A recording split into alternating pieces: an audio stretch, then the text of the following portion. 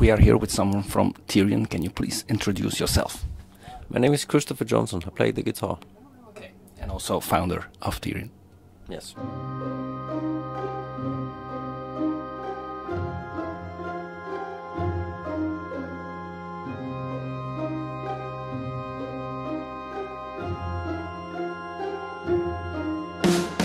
Beloved Antichrist uh, finally came out last week. Um, how would you describe the album? Is it a rock opera, metal opera? Is it a musical? Is it a concept album? Well, it's not an album. Uh, if I say Jesus Christ Superstar, you wouldn't refer to it as an album. Uh, it's a rock metal musical with opera vocals. Um, but I'm open to to perform it live with, with rock vocals or anything. You know, it's not carved in stone. Um, the only odd thing is that we're releasing the audio version first instead of staging it first, which is because of economic reasons. You got the idea, uh, or you started working on it almost 15 years ago, if I'm not mistaken. What were the biggest obstacles to finally making the entire album? Well, yes and no. Um, I actually started to work on a classical opera 15 years ago, or uh, yeah, something like that. Um, I don't even remember what year it was, 2001, two or three, some something like that. Um, but I didn't manage to uh, complete the, the classical opera because I can't write um, music with uh, recitatives. Uh, a recitative is um, a mixture between talking and singing, which you use to move on faster in the story. If you're gonna sing everything with nice melodies, it takes a very long time to tell the story. And um, I guess I'm a bit damaged by rock music in my way of thinking. I need things to be somewhat interesting most of the time, and I cannot write what people usually refer to as the boring part in the operas. I can write the highlights. So I get stuck and I didn't write a single note for many, many years. And in 2012, I just asked myself what to do about it uh, because I had written some nice music, but obviously it wasn't going anywhere. And I asked myself, why do I want to make a classical opera? And I didn't have any good answer for that, so I just thought, okay, it was just an idea, it didn't work, so what should I do? And I thought maybe I should just Therionize the music, like re rearrange the music to fit Therion. Um, and while elaborating with that thought, I thought maybe it's a good idea also to keep the whole concept of uh, a theatrical stage performance, but in a Therion way. Um, and the original opera was supposed to be rather short, like one hour plus something, one hour, 20 minutes maybe, in two acts. Um, but now when I, I, started to write it in a Therion way, exactly that happened. Uh, that which is why you need the recitatives, you know, um, uh, the recitatives. Um, we wrote an opera that was four hours long. That's what happens when you, you sing everything with melodies. And um, we just had to shorten it down. We couldn't record four hours, so we, we shortened it down to three and a half hour, which we 46 songs or, pieces. No, over 50. We recorded, over, I think, 51 scenes, and um, some of the scenes were much longer also. So we, we recorded that, and then uh, when I listened to the recording, I thought this is still too long. We can't release three and a half hour. So we cut down to 46 scenes, and we shortened down some scenes also um, especially one scene um, to get what we have now on this this release. So uh, effectively, we started to to work on new material in 2013. Now you have the three acts, the the three CDs. Is it your hope that fans will listen through the three CDs or the three acts at once, or? It's natural that you do it in the beginning, but I don't think people do that all the time, and I don't really understand when some people say, "Oh, it's too long." I mean, there's no sticker on the CD that says, "If you don't listen to all three CDs all at once, we will come and kick your ass." You know, it's you can treat it as three different CDs. When when we released Lemuria and Sirius B, they were released together in a special deal, so you would get both albums. Um, and later, they were split, and now people see it as two different uh, releases, even though they were recorded at the same time. So I, I really don't understand this whole obsession because everybody asks about that. Uh, about uh, the length and that it all has to be at once. It just doesn't make sense. Beloved Antichrist is inspired, inspired or based uh, partially on a Russian novel, but you you changed some of the material, like the roles of the females. And can you elaborate a bit on, on that? We changed pretty much everything. I mean, we owe our story totally to Soloviev, who wrote the original, because without his story, there wouldn't be our story. So you can say we, we preserved the skeleton of it, you know, the many of the characters and the overall uh, concept. But we totally changed the beginning, we totally changed the end. We introduced a lot of new characters, females, because there were no male characters. Uh, there were only male characters in the book. And we changed the gender of one of the characters and expanded uh, this from being a small role to a main role. And once you take out the big knife and start cutting in the story, there's no end to it. So we changed a lot, bit by bit, and I would say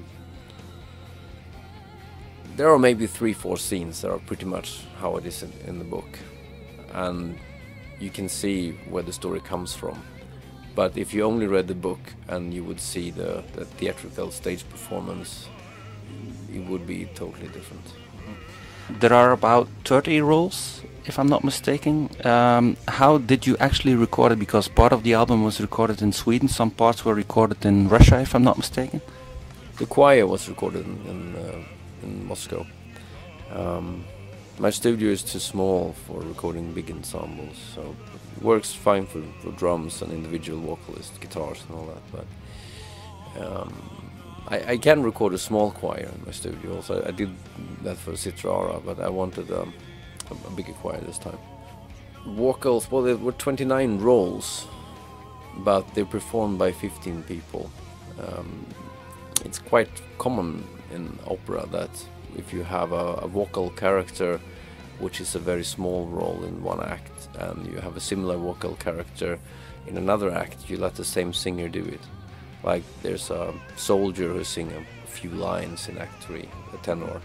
Then if you have a another tenor, a small tenor role in, in the other act. Why take two different guys? Get all dressed up and you know go on stage and sing for 20 seconds. Mm-hmm. So then you rather have one guy doing two or three roles and just change makeup and clothes and wigs or whatever they, they need to do in, in between.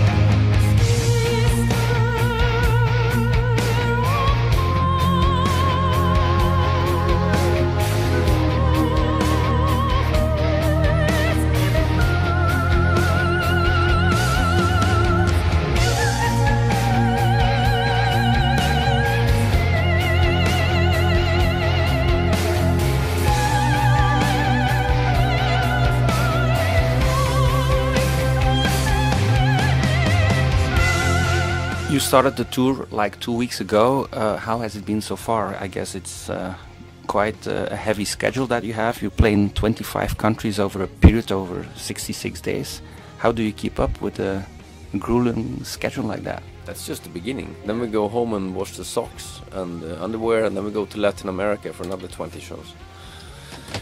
so, yeah, I think we're like 85 shows. Although we do also Israel, and we do. Um, Russia, Ukraine after this. Um, the beginning of the tour was awesome, and then we went to England, which was less awesome. Um, somebody had the idea of booking eight shows for us in the UK, and that's the weakest market for us in Europe. So that's a bit weird. So London's of course great. Manchester's not so bad. Um, the rest you know, we play quite small places and very small crowds, and I mean that's okay. You know, we can do a small show once in a while, but the whole tour with ice cold backstage room, no catering, and then our bus, which was a crap bus to start with, uh, caught fire. Wow. Um, so we had to like evacuate it on the highway in the middle of the winter, just run out of the bus, and then we had a replacement bus, which was literally the worst, not only the worst bus I've ever seen. No, it, not only the worst bus I've, I've had, it's the yeah. worst bus I've ever seen. it it rained inside of it. It had no heating wow. in the middle of the winter, and there were bugs in it, and uh, there were um, uh, it was mold. You know? I mean, it's that bus should be buried or driven down to the, bottom of a lake or something. Put on fire. Yeah, it- it's the worst wreck I've ever seen. Uh, so that made the UK dates very hard because if you have a tiny, tiny backstage, it's not enough for, for even one band, and you have only cold showers, and you have no catering. You get like 10 pounds, which is your ridiculous. yeah, that's gonna be your breakfast, lunch, dinner, everything. Then if you have a bus, then at least you can, you know, store some food and stuff there, and you have a nice place to go, and you can get changed there instead. So when the bus is even worse than the backstage, it really wears on you. So normally, nobody have anything against Belgium, but Belgium is also a country that doesn't have any strong characteristics. It's like Belgium, French fries. If it's. Tuesday, it must be Belgium. When, when I was like, I've never longed in my entire life so much to get to Belgium. Like, wow, what a nice venue! People are, you know, we have proper uh, food backstage, and in Belgian beer. Belgium, oh, we don't really drink on tour, believe it or not. Um, some of the guys may take one Yeah. or maximum two beers per Yeah. day, but uh, me and Nalle, we don't drink anything at all. Uh, Oh, but no. I, I do like the wit beer though, so Oh. um, maybe I'll grab a Hoegaarden and save for for the last day. Then after the last show, I'll drink some beers. Uh, how do you decide on set list for a tour like this? Uh, if I'm not mistaken, the previous gigs you played like 20 songs, uh, five songs from the last album. How do you decide?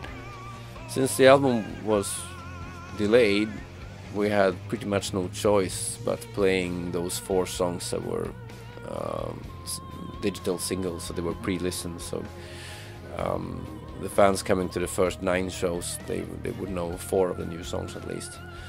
And then we took My Voyage Carries On because it's very fun to play and it's an up-tempo guitar-driven song. And I think when we release a rock musical, which is very classical and not so heavy compared to what we normally do, it feels natural to play the heavier songs live because that's what, what the fans want. You know, those who doesn't want a rock musical, who just want regular new album, they will probably prefer these songs.